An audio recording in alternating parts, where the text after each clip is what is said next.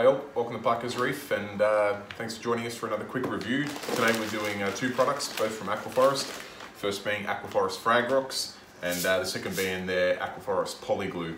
Um, we're going to use this glue to frag a um, piece of Dallas and glue it onto one of these huge rocks. So uh, watch along and see how we go. Alright, so when we open up the uh, Aquaforest Poly Glue, which is granted a little bit difficult to do one-handed, you'll see there's all these, um, I'll just pan down a little bit, all these uh, little pallets uh, in there. Here's a bit from a mug that I've used before that are all stuck together. That's basically what the end product looks like. You can reuse that. Um, it's probably more than I need in this, this instance, but sure. So I'm going to take that big chunk, drop it in the jug, swap hands with the camera, and uh, pour the boiling water into the jug, sorry, into the mug.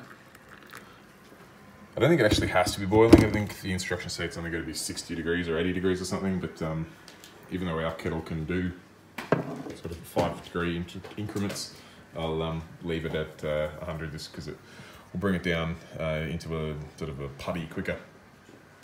Next thing I want to point out with these um, Aquaforest Frag Rocks is um, the value. They come in a pack of 24, um, and these in Australia seem to retail for less than 20 bucks, which means for a giant size frag, they're less than a dollar each, which is really good. Um, this is the other frags that I use. They're a uh, marine pure frag, um, sort of a golf tee type thing. Until I saw these, these are the largest frags I'd ever seen. Um, so these are about twice the size of most other frags, and then uh, these ones are just gigantic. So um, I guess I'll give you an overview. My uh, daughter's helping me today. She's got Guy Diamond, one of the trolls with us. Um, this is my little fragging station here. I just have a um, tub with some water underneath um, and uh, just have some egg rack, uh, egg crate along the top, sorry, that I sit the tile on and um, while I glue the frags. So um, yeah, let's uh, get these packet of frag rocks open and uh, see how they go. All right, so um, the uh, the poly glue's been sitting in uh, coffee mug here for a minute and it's um, starting to get really soluble. Obviously the water's boiling, so don't just fish it out with your fingers, use a, a spoon or something. You can see, um, I'm not sure if you can see, it goes like all clear and uh, kind of like chewy. Um, that's exactly how you want it. You can squish it about and fit it wherever you need to. I'm just going to sit that back in that hot water till we're 100% ready to go. If you just move your head there, Ruby, just come across a little bit. In uh, my frag station here, I've got um, a rock that I've pre-soaked. I just find that glue sticks to them a little bit better if you pre-soak them. And uh, a pretty chunky sized Dallas frag. I figured if we're going to use a um, plug this big, I may as well put a decent sized frag on it because uh, putting a little, this little one centimeter nib on the end would look a bit silly. So um, all I'm going to do is grab this, this putty. I'm going to make a little circle around, uh, sort of Daddy, make a little, little disc. bit tricky when you make circles with putty. It is a little bit tricky, that's right, mate. Yeah. So I've just stuck it onto the um, frag rock there. I'm going to stick my little finger in there just to um, make a little hole in the middle. I'm Going to put the uh, frag in there and then just squish it around there just to hold it in place.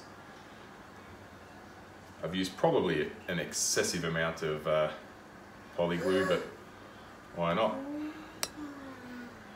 Now that'll that'll set pretty soon, but that's what our frag's going to look like. It's a big frag, it's a big weighted rock. Um, it'll hold it up nice and neatly. I might just tilt it back a little bit just because this branch was originally like that. So the back side of it hasn't seen a lot of light. So just to help promote the side that um, has seen the most light, just to tilt it back a little bit. To be honest, it wants to stand upright, and if it wants to stand upright, I'd probably be silly to um, argue it. So uh, there's that. I might even sit it back in the water just to help it set.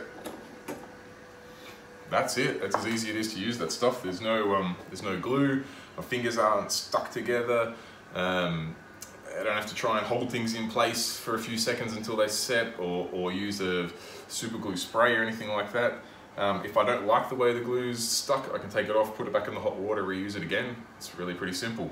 Um, these frag rocks, th these are a beast. They're huge. Have a feel how heavy they are, Ruby.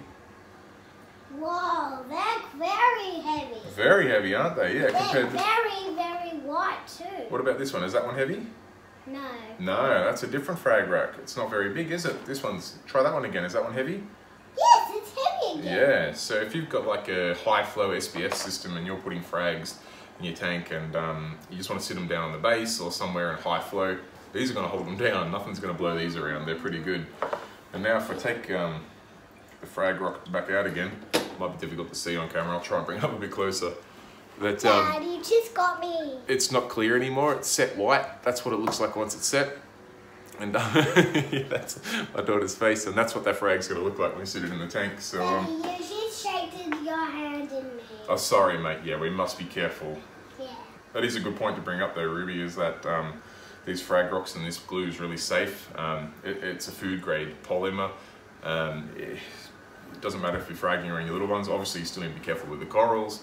Um, you don't want to be squeezing uh, or something near anyone, or especially yourself and your family. But um, yeah, see, it's set now. It's hard. Yeah. But uh, the glue itself's really safe. Just watch out for the hot water. Um, doesn't stick to your fingers. Doesn't stick to packaging or the mug or the plastic or give you another five layers of skin. It's simple to use. And um, yeah, let's go put this back in the tank. Thanks for watching.